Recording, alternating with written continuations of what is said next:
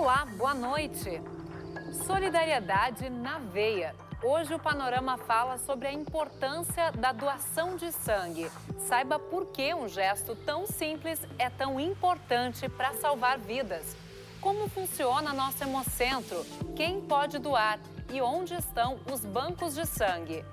Veja também. Governo protocola na Assembleia projeto para aderir ao regime de recuperação fiscal. CEPERS protesta e bloqueia acesso ao Parlamento Gaúcho. Tribunal Regional Federal da Quarta Região julga recursos de José Dirceu e Eduardo Cunha na Lava Jato. E ainda, professoras gaúchas são finalistas de Prêmio Nacional de Educação.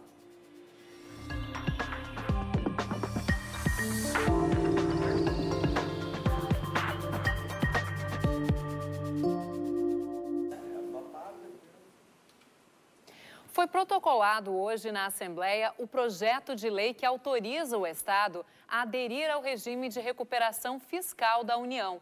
O governo gaúcho também protocolou no parlamento três propostas de emenda à Constituição que retiram a obrigatoriedade de plebiscito para a venda da Sulgás, CE e Companhia Rio Grandense de Mineração. Em protesto contra os projetos do Palácio Piratini, o CPE Sindicato bloqueou o acesso à Assembleia. Os professores, ainda em greve, são contrários à adesão do Rio Grande do Sul ao regime de recuperação fiscal, que prevê congelamento nos salários do funcionalismo público. Os professores e trabalhadores de escolas estaduais bloquearam todas as entradas do Palácio Farroupilha esta manhã. Os funcionários da Assembleia e também os deputados ficaram do lado de fora. O ato pressiona o governo do estado contra os projetos anunciados para a adesão ao regime de recuperação fiscal do governo federal. Não tem dinheiro, mas tem sonegação nesse estado. Não tem dinheiro, mas tem isenção fiscais para quem ganha muito dinheiro. Não tem dinheiro, mas tem a Lei Candir, que é uma dívida que o governo federal tem e que a gente não vê o movimento do Estado forte para fazer com que isso aconteça. E não tem dinheiro, principalmente por uma negociação equivocada lá do governo Brito, no qual o José Ivo Sartori era líder de governo e que afundou o Rio Grande do Sul. A renegociação da dívida significa para nós afundar mais ainda. O presidente do parlamento e deputados argumentaram com o comando de greve para que os acessos fossem liberados. Ao cumprimentar a presidente da, do CEPERS, disse a ela que talvez eles tenham errado a porta. Lamento profundamente, acho que está errado o alvo. Os manifestantes também se concentraram em frente ao Palácio Piratini, onde o governador e secretários apresentaram os quatro projetos. O primeiro autoriza o executivo a aderir ao regime da União que suspende o pagamento da dívida do Estado por três anos, prorrogáveis por mais três. A estimativa é de 11 bilhões de reais ao ano. Os outros projetos, separadamente, retiram a obrigatoriedade de plebiscito para a privatização da CRM, Sulgás e CE. O regime de recuperação fiscal não resolverá todos os problemas do Estado do dia para a noite. Contudo, ele é a única alternativa que temos para devolver esperança de um Rio Grande melhor. Aderir ao regime significa um respiro para que o Estado consiga concluir a sua travessia. O governo trabalha em um pré-acordo com a União, mas a aprovação dos projetos pelos deputados é condição para a assinatura definitiva da adesão ao regime. Depois, outros projetos serão enviados para cumprir as exigências do acordo, entre eles as privatizações. O regime de urgência define a votação dos projetos no prazo de 30 dias. Este será o tempo de negociação no parlamento. Vai agravar ainda mais a dívida do Estado, vai fazer com que a dívida seja esticada, vai fazer com que nós entreguemos o nosso patrimônio público a preços irrisórios, não vai resolver o problema do Estado. Nesse momento, o governador Sartori deveria estar focado em resolver o tema da Lei Candir, em resolver o tema da sonegação e reduzir o ICMS para aumentar a arrecadação e não o regime de recuperação fiscal, que não une a Assembleia, não vai unir e será derrotado pela oposição e por setores governistas que eu tenho certeza que irão votar conosco eh, nesse projeto. É um projeto que vai colocar as contas públicas do Estado novamente no equilíbrio financeiro, que é necessário para honrar com seus compromissos e para voltar a fazer investimentos para a sociedade.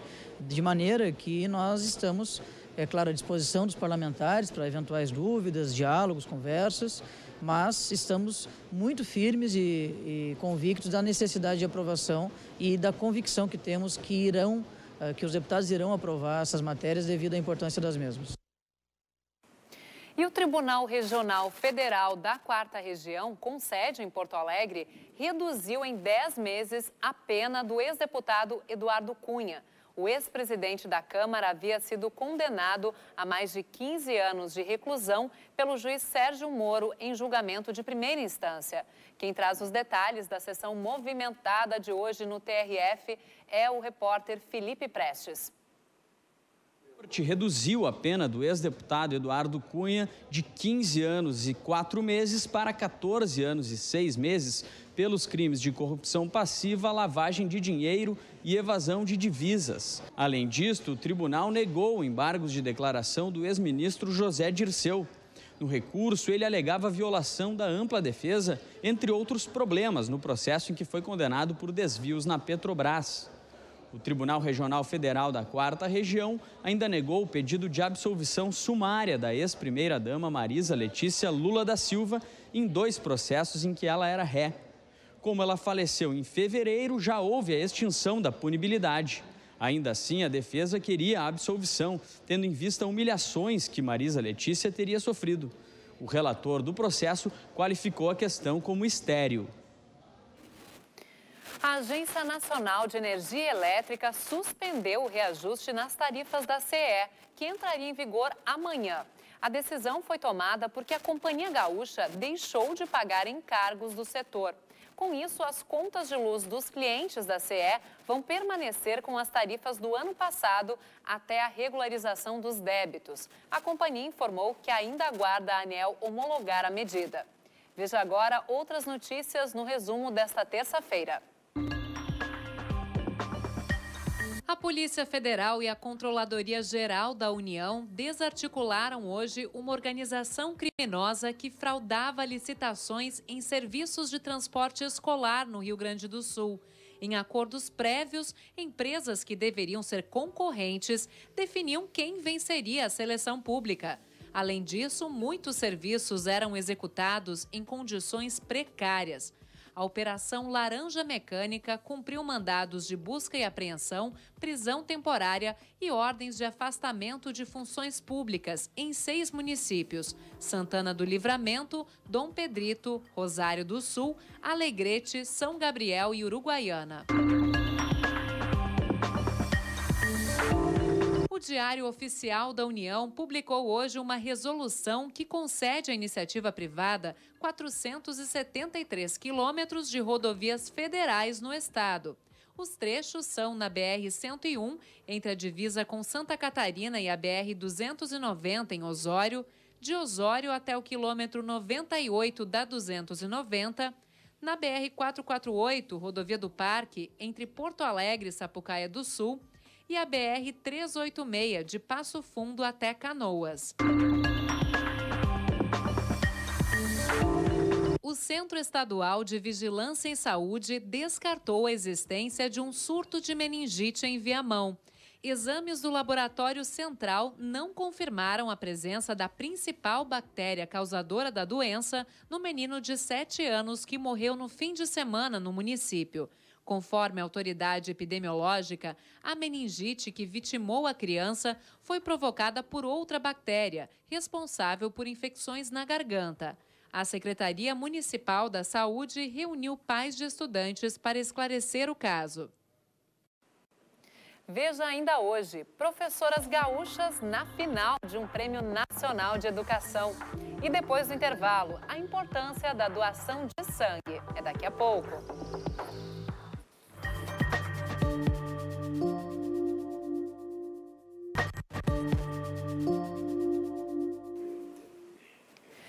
Baixos estoques nos bancos de sangue levam a constantes apelos para doação. Por isso, nossa reportagem foi ao Hospital Conceição, em Porto Alegre, mostrar como é fácil o procedimento e também reforçar a importância desse gesto. Ivana é doadora de sangue desde 2012. O gesto solidário que ela repete todos os anos é uma espécie de agradecimento por ter passado num concurso muito disputado. Eu estou agradecendo pela, né, por, por os milagres que a vida me deu, né? Eu acho que também quando a gente doa sangue, a gente pode oferecer esses mesmos milagres para as pessoas que estão precisando, né? Já a Rosemary faz hoje a sua primeira doação. A mãe está em tratamento no setor de oncologia do Hospital Conceição e precisa de doadores para transfusão. É muito importante, né? Mas a gente só tem essa noção quando alguém precisa, né? Que eu nunca doei a primeira vez, aí precisou alguém precisar, né, no caso, para mim doar, para mim fazer isso, né? Para ser doador é bastante simples. Basta apresentar documento de identidade, estar em boas condições de saúde, ter entre 16 e 69 anos, pesar no mínimo 50 quilos, não estar em jejum e não ter ingerido bebidas alcoólicas nas 12 horas anteriores à doação. Os motivos que impedem a doação. O doador não pode ter realizado tatuagem ou feito acupuntura nos últimos 12 meses. Não pode ser gestante, estar gripado ou resfriado, estar exposto a situação de risco para a AIDS ou ter múltiplos parceiros sexuais. O doador também não pode ser usuário de drogas injetáveis ou ter tido doenças como malária, hepatite ou AIDS. O importante é vir aqui desmistificar algumas questões, assim, como uh, doar sangue não contamina, a pessoa não vai pegar nenhuma doença a pessoa não vai ficar viciada por doar sangue, né? Porque as pessoas às vezes perguntam, ah, se eu doar uma vez tem que doar sempre. Eu até brinco, né? sim, tem que doar sempre, mas pela solidariedade, né? pela necessidade do sangue para o paciente, não que a pessoa vá ficar viciada. Antes da doação é feita uma entrevista que é sigilosa. Se o doador resolver desistir depois de ter feito o procedimento, ele deve preencher esse formulário de autoexclusão. Independente do resultado dos exames para doenças, o sangue doado é descartado. E nesta Semana Nacional do Doador de Sangue, o Panorama se junta à campanha para incentivar a solidariedade. O gesto nobre de doar sangue é o assunto em destaque na entrevista desta terça-feira. Quem conversa com a gente é assistente social do Hemocentro do Estado, também responsável pela captação de doadores, Maria de Lourdes Peck. Boa noite, Maria, seja bem-vinda ao Panorama. Boa noite. Essa época do ano é sempre uma época bastante crítica, em que costumam cair os níveis, do, os, os estoques do banco de sangue. Fim de ano exige uma maior, um maior comprometimento dos doadores, digamos assim? É verdade, né? Esse é um período bem difícil. Então, a gente já começa a trabalhar para o final do ano, até março, que é o período de baixa de doadores. Por né? quê? Porque as pessoas saem para fazer viagens, né? Começa já se organizar para o final de ano, formaturas, festas, né, que já vão viajar para a praia, para outros locais, aonde o último pensamento é doar sangue, né? Ninguém acorda de manhã, ah, eu vou lá doar sangue hoje. Nesse período é bem difícil. Importante lembrar também que uma única doação pode salvar várias vidas. É usada para transfusão em várias pessoas, né? Como é que funciona aí esse processo? Sim, sim. Uma doação pode ajudar até quatro pessoas, né? Porque se coleta o sangue total, que a gente chama, né? É uma bolsa de sangue com 450 ml. Dali, então, é separado, é separado em componentes. Da parte vermelha do sangue, as hemácias, através da centrifugação, é retirado o plasma e do plasma, então, é retirado as plaquetas e o crio. E ainda tem ainda o plasma pobre, que ainda pode se reverter em medicação também. Como é que estão hoje os estoques do banco de sangue, ou melhor, do hemocentro do estado em que você trabalha? É, hoje os nossos estoques estão se fortalecendo, até porque nós estamos tendo um, uma boa procura nessa semana do doador, que iniciou ontem, né? E nós então já fizemos vários contatos prévios com as empresas, com grupos de doadores e que estão vindo até nós e com certeza ao início do mês de dezembro já vai dar um, uma, uma, relaxada, porque a gente atende 40 hospitais, né? O Hemocentro atende 40 hospitais de Porto Alegre, região metropolitana, então nós precisamos de ter um estoque de mais ou menos até 2 mil bolsas por mês. Quem está no interior, como é que faz para doar? Geralmente, nós temos, nós temos uma, uma unidade móvel, né, de, que nós fizemos coleta externa de sangue, fizemos contato com esses municípios aonde o Hemocentro atende, aquele hospital, e eles então se organizam e fazem, mobilizam doadores e nós vamos até lá e coletamos dessas pessoas. Para nós isso é muito bom, porque são doadores já de repetição, doadores fidelizados, e isso qualifica né, a, a, doação de sangue. Com certeza. E verdade que no Rio Grande do Sul o nosso percentual de doação de sangue é maior que o do país, na média? É maior, né? De 2,4% de doadores, quando no resto do país é 1,8%. Mas ainda falta de vez em quando, então é bom que todo mundo participe. Aí a gente faz esse convite para que as pessoas doem sangue também, aproveitando essa data. Com certeza. Muito obrigada pela entrevista. Uma boa noite para você. Obrigada. Até a próxima. Até a próxima. E depois do intervalo, veja a previsão do tempo para esta quarta-feira. E ainda o trabalho das professoras gaúchas que estão na final do Prêmio Nacional de Educação. A gente já volta.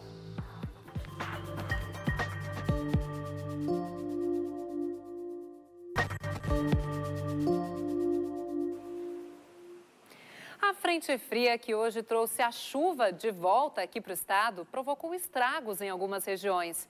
É que, como você vai ver agora nas imagens, a chuva veio acompanhada de granizo em cidades da Serra, Vale do Paranhana e também no litoral norte. Algumas casas tiveram o telhado danificado pelas pedras de gelo. Mas amanhã o tempo limpa em todo o Rio Grande do Sul e as temperaturas ficam mais baixas, baixas inclusive para essa época do ano. Vamos ver a previsão no mapa? Ele mostra que uma massa de ar seco avança aqui pelo estado, garantindo tempo firme nesta quarta-feira. Mas o dia ainda vai ter bastante nebulosidade na metade norte e na região metropolitana. E o destaque mesmo fica por conta da queda nas temperaturas. Na campanha, por exemplo, faz frio logo cedo, mínima de 7 graus em Bagé. E em Caxias do Sul, na Serra, a máxima não deve passar dos 17. Já em Porto Alegre, temperaturas amenas, variando dos 14 aos 23 graus.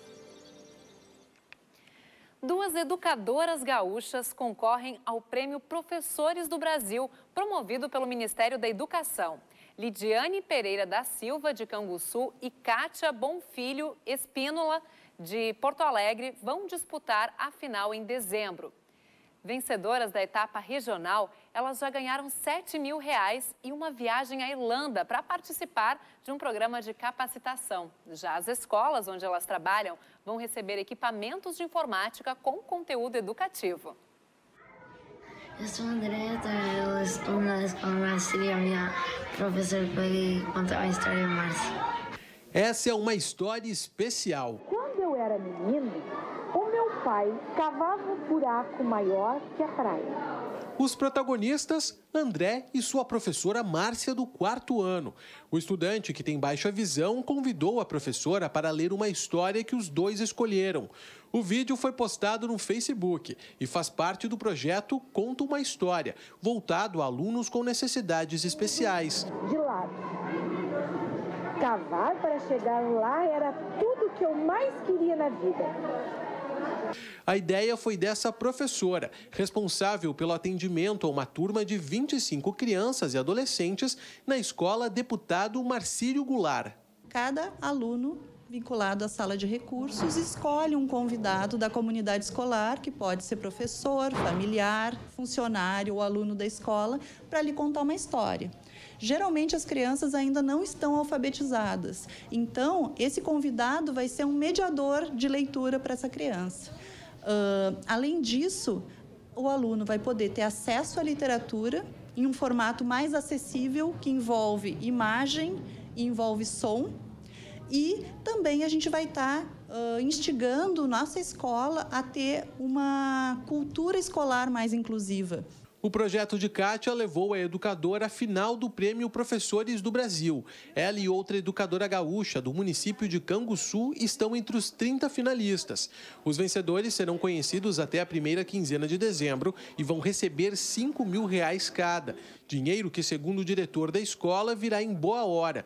Desde o ano passado, vários recursos importantes para a comunidade escolar foram cortados. Toda a escola sofreu, mas principalmente os alunos que necessitam de inclusão. Sempre precisa é, coisas novas, a gente está sempre procurando coisas novas. Como a inclusão para nós, todos na educação ainda é uma coisa que está em construção, que a gente está cada vez aprendendo mais coisas, a gente descobre a cada momento um recurso novo e, claro, precisa investimento para isso. Então sempre vem em boa hora isso aí. Então o prêmio para nós vai ajudar bastante, com certeza. Porque de tudo quanto era largo, as pessoas paravam para olhar a gente. E antes de encerrar, a gente fala de futebol. Afinal, estamos às vésperas de uma final de Libertadores. E não são só os torcedores gremistas que estão animados com a primeira partida da decisão que acontece amanhã em Porto Alegre. Vendedores e prestadores de serviço também estão otimistas elas estão acima de todas as outras. As três camisetas oficiais do Grêmio tiveram as vendas impulsionadas. Só nos últimos 30 dias, mais de 200 já deixaram esta loja no centro da capital. Mesmo o valor salgado de R$ 249,90 não afasta o torcedor fanático. Ainda mais agora nessa final, que depois de 10 anos assim da Libertadores é emocionante. Ou seja, vale a pena gastar esse dinheiro? Vale a pena muito. Mas fanáticos também são os hermanos que começam a chegar a Porto Alegre para formar a torcida do Lanús, o grande adversário do tricolor. A expectativa é de que a movimentação de argentinos seja grande, principalmente a partir de hoje à noite. Segundo o presidente do Sindicato dos Hotéis de Porto Alegre, os argentinos devem dar um bom incremento à taxa de ocupação hoteleira na cidade. Está com uma lotação de quase lotado, a maior parte, certamente, são os gremistas do Brasil todo, né, do interior do estado e do Brasil todo, e certamente também devem ter bastante, bastante argentinos do time do, do Lanús. Né. Ao redor da arena, a movimentação vai ser maior ainda, principalmente amanhã. A estimativa, segundo a Brigada Militar, é de 60 mil torcedores na arena e 40 mil fora. O proprietário desse bar em frente ao estádio comprou o dobro de cerveja que vende em dias de jogos normais. A expectativa é muito grande de bons negócios e está faltando espaço para colocar tanta cerveja que a gente está se abastecendo para não deixar ninguém de bico seco. E vamos, junto com o Grêmio, torcer e comemorar depois com uma cerveja bem gelada. Expectativa grande aí para essa final. Bom, na sequência você fica com o Debate TVE. O Panorama volta amanhã às 7h15. Uma boa noite e até lá.